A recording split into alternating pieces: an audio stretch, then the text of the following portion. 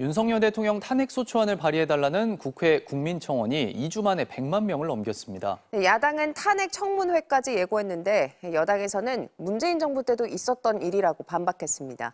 조재영 기자입니다. 윤석열 대통령 탄핵 소추안을 즉각 발의해달라며 국회에 올라온 국민청원이 동의 100만 명을 넘었습니다. 청원 2주 만입니다. 오후까지 대기 인원이 1, 2만 명에 달할 정도로 청원에 동의하려는 접속자들이 몰렸습니다.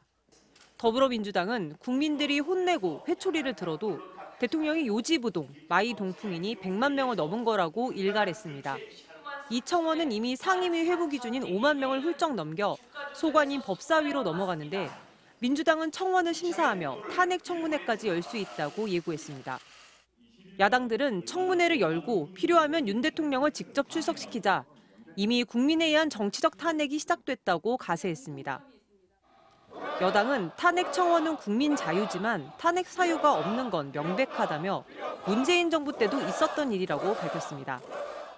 문재인 정부 시절 청와대 홈페이지에 있었던 국민청원 게시판에는 탄핵 찬성글이 올라와 146만여 명이 동의한 바 있지만 반대로 대통령을 응원한다는 글도 150만 명의 동의를 얻었습니다. 하지만 윤석열 정부에는 해당 게시판이 사라지면서 국민들이 국회 청원 게시판으로 몰려가 의사를 표시하는 걸로 보입니다.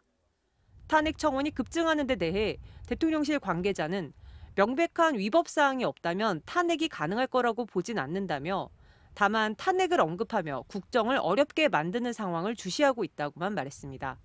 MBC 뉴스 조재영입니다.